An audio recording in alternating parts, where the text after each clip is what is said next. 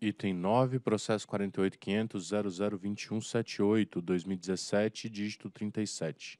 Resultado da audiência pública número 34 de 2017, instituídas com vistas a colher subsídios e informações adicionais para o aprimoramento das disposições relacionadas à definição dos correspondentes limites para o indicador de qualidade comercial, frequência equivalente de reclamação, FER. Relator, diretor Reive Barros dos Santos. A Resolução 373 de 2009 estabeleceu os procedimentos a ser adotados pelas concessionárias e permissionárias de distribuição para o tratamento das reclamações dos consumidores, revogando a Resolução 382 de 98. A partir de então, foi possível gerar um histórico de reclamações para as concessionárias entre os anos de 2010 a 2012.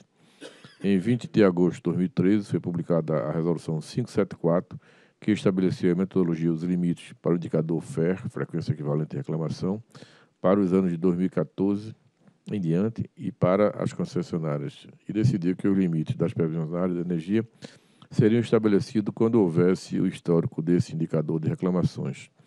Em 3 de maio de 2016, foi publicada a Resolução 716, que trata do agrupamento de áreas de concessão atendida por concessionária de distribuição de energia elétrica, sujeitas a controle societário comum e tratamento tarifário da nova área de concessão.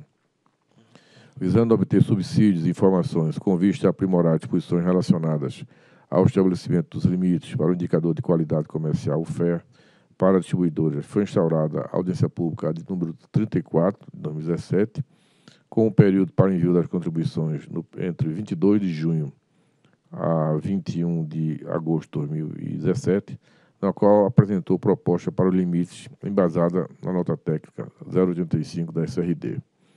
A nota técnica 109 de 2017 da SRD, é, emitida em 17 de novembro de 2017, analisou as contribuições encaminhadas à audiência pública 34 de 2017.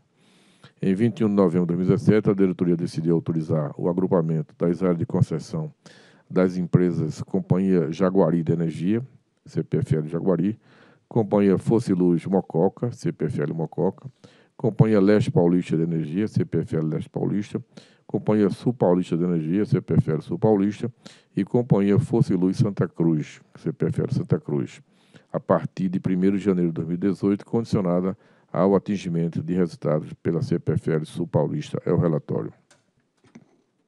Procuradoria. Então, trata-se de minuta de resolução normativa cujo objeto é o aprimoramento da regulação relativa aos estabelecimentos dos limites para o indicador de qualidade comercial, frequência equivalente de reclamação, FER. A matéria está inserida na competência regulatória da ANEL, tendo sido submetida previamente à audiência pública, e a minuta está aderente à técnica normativa e legística.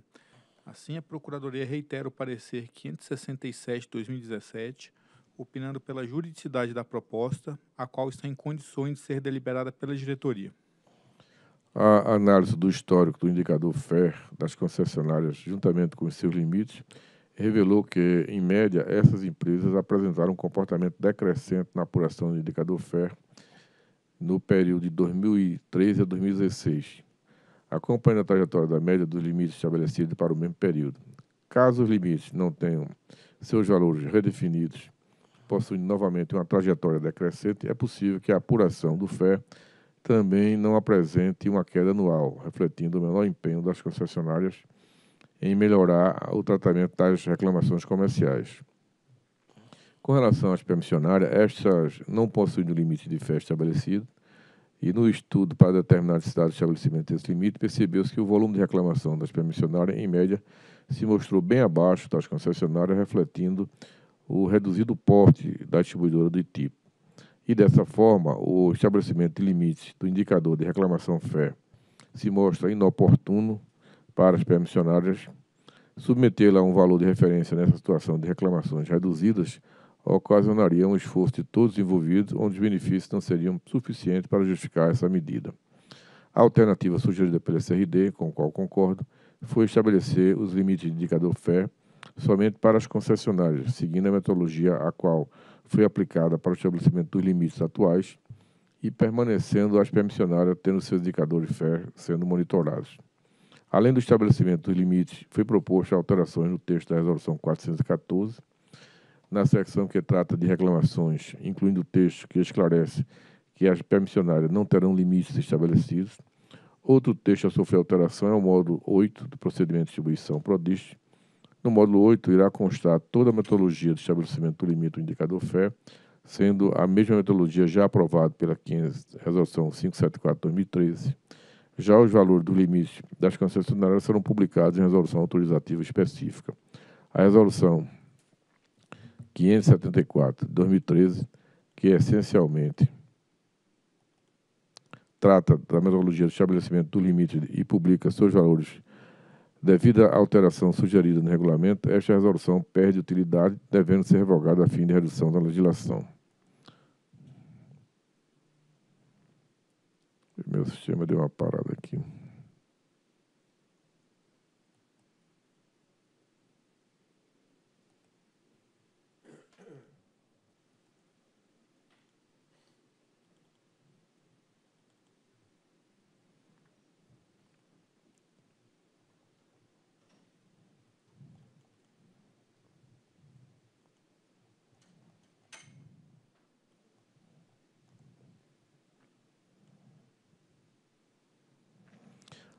A resolução é, 514 trata essencialmente da metodologia do estabelecimento do limite e publica seus valores. É, devido às alterações sugeridas no regulamento, esta resolução perde utilidade, devendo ser revogada a fim de redução da legislação. A proposta foi disponibilizada na audiência pública 34 de 2017, por meio da técnica 085 da SRD, apresentou alterações no módulo 1 a 8 do PRODIST, de modo a consolidar a metodologia estabelecimento do limite para o indicador de qualidade comercial FE para os concessionários de distribuição de energia elétrica. Na audiência pública 34, é, recebeu contribuições de 12 diferentes interessados, totalizando 41 contribuições, é, dentre 41 contribuições. Dentre essas, os pontos principais levantados foram os seguintes. O estabelecimento de limite de fé também para a distribuidora permissionária, uma penalidade automática em caso de ultrapassagem dos limites, a definição de data para nova revisão dos limites, aumento do prazo de 5 para 6 anos para atingimento dos limites finais, estabelecer a previsão de revisão extraordinária em caso de aumento atípico das reclamações ou em caso de publicação de novas tipologias. E com relação ao item 1, a ANEL mantém o entendimento de que não é plausível sujeitar a distribuidora permissionária, que em geral apresenta um número reduzido de reclamações proporcionais ao número reduzido de unidades consumidoras. O ganho dessa obrigação, juntamente com a consequente fiscalização obrigatória, é menor que o esforço realizado. E com relação ao item 3, a contribuição desse assunto é de que seja definida a penalidade automática a qual a distribuidora estará sujeita no caso de descumprimento das metas regulatórias. A modificação proposta no texto normativo não exclui a possibilidade de aplicação de uma multa eh, no processo punitivo. A proposição visa adequar o texto normativo ao processo de fiscalização implementado pela ANEL. Contudo, o eventual descumprimento dos limites dos indicadores FE ainda é passivo de punição com aplicação de multa a critério do processo de fiscalização. O argumento do item 3, sustentado tanto por Conselho de Consumidores quanto por representante da distribuidora, é que seja definido o prazo para a revisão da metodologia de definição dos limites dos indicadores FE. Entende-se que, apesar de não estar explicitado o prazo para revisão dos limites do indicador FE, esta agência procederá a essa revisão caso identifique sua necessidade em prazo adequado. Tratando do item 4, diversas agências argumentaram que ampliar o período de trajetória de 5 para 6 anos objetiva um perfil mais consistente, com trajetórias assintóticas de obtenção de resultado. Outra sugestão para suavizar a trajetória é alterar o próprio valor da meta para 2022. Nota-se que não houve divergência com relação aos valores do limite de fé em si, o que foi o principal objetivo da audiência pública 34, mas somente com prazos para estabelecer. A ANEL entende que cinco anos é suficiente para que as empresas se adaptem ao volume de reclamações que empresas medianas do mesmo porte já, já desempenham. Além do mais, a metodologia prevê decaimento percentual do valor de 25% para atingir o menor valor histórico individual da empresa nesse período. A trajetória mais agressiva do último ano é justifica pelo descasamento, pelo decaimento menos agudo do que no primeiro ano. Por fim, sobre o item 5, a distribuidora entende que sempre que houver mudanças em função de fatos alheios à gestão da distribuidora, como alteração na legislação, legislação federal e, estatal, como também na regulamentação relativa ao atendimento comercial, ou ainda que surjam novas tipologias de reclamação que compõem o cálculo do FER. Poderá a distribuidora requerer de um TANEL a revisão de seus limites de forma retroativa, contados a partir do fato em que gerou desequilíbrio. No entanto, entende-se se não ser necessário explicitar a prerrogativa do direito à petição do texto regulatório em questão, independentemente da razão. Com o fim da audiência pública 34, a SRD emitiu a nota técnica, a de número 109, de 2017, que estabelece os valores finais do limite de fé para as concessionárias. No entanto, essas etapas, após essas etapas concluídas, a diretoria autorizou o agrupamento das áreas de concessão das empresas do grupo CPFL, listadas na tabela 1, abaixo, juntamente com o seu respectivo volume de unidades consumidoras, considerando os dados do, do FE. Neste caso, o limite do FE dessas empresas eh, foram é, estabelecidos de forma individual, pois esta era a situação vigente durante o período do processo da audiência pública 34.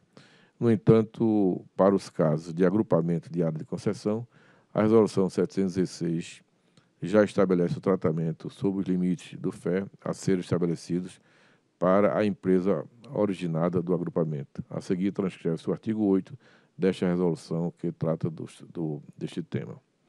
Desta forma, e como a nova empresa possuirá cerca de 440 mil unidades consumidoras, que é a soma das unidades consumidoras das empresas predecessoras, ela passará a pertencer ao grupo 1, grupo concessionário com mais de 400 mil unidades consumidoras, na metodologia estabelecida pela Resolução 574, metodologia essa reaplicada no processo atual do estabelecimento dos limites de fé, na nota técnica 085, a SRD estabeleceu é, e ficou determinado que as empresas classificadas no grupo 1 terão os valores nesse critério de acordo com a tabela 2. Portanto, de acordo com a tabela 2, nós temos uma derivada negativa a partir de 2018 é, para as empresas do grupo 1, 2018 com o valor de 25, 2019 com o valor de 24, com 2020 com o valor de 21, com 2021 com o valor de 19 e, finalmente, é, acima de 2022, o valor de 13.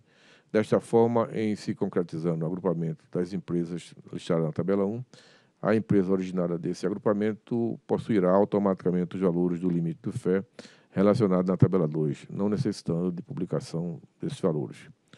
Portanto, diante do exposto que consta no processo 48.500.002178 barra 2017 37, voto por aprovar a emissão da resolução normativa conforme a minuta anexa, em que aprova a alteração dos módulos 1 e 8 do PRODIST, além de alteração da resolução normativa 414, de 9 de setembro de 2010, e aprovar a publicação do, de resolução estabelecendo os valores do limite de fé para distribuidoras concessionárias para os anos 2018 a 2022 e revogar a resolução normativa 574 de 20 de agosto de 2013. É o voto. Em discussão. Em votação. Eu voto com o relator. Também acompanho o relator. Também voto com o relator. Proclamo que a diretoria, então, decidiu por aprovar é, as alterações dos módulos 1 e 8 dos procedimentos de distribuição de energia elétrica no Sistema Elétrico Nacional, PRODIST, além de alteração da Resolução Normativa 414-2010, também aprovar a publicação de resolução estabelecendo o valor dos limites do FER para distribuidoras concessionárias para os anos de 2018 a 2022 e revogar a Resolução Normativa 574, de 20 de agosto de 2013. Próximo item.